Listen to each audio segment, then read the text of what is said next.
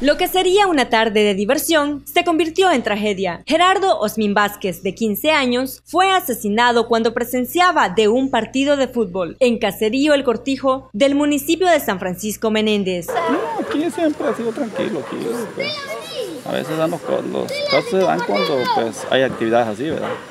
Pero el lugar aquí siempre ha sido tranquilo todo el tiempo.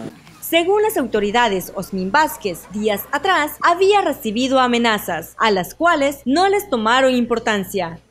Y efectivamente, pues eh, inmediatamente nosotros eh, nos apersonamos al lugar y efectivamente había el cadáver de un menor de edad y al parecer como que si habían habido unas amenazas anteriores hacia la víctima que quizás no se tomaron con seriedad en su momento.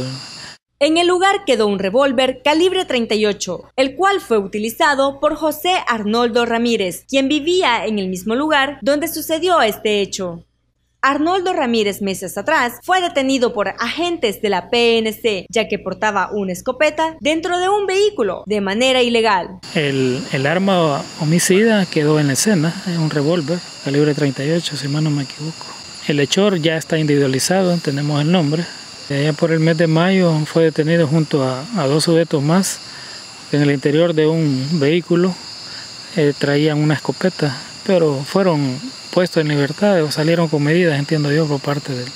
El responsable de este homicidio, Arnoldo Ramírez, por el momento, se encuentra prófugo de la justicia. Las autoridades aseguran estar trabajando para dar con el paradero lo más pronto posible. Para Cara Sucia Noticias, Lucia Aguilar.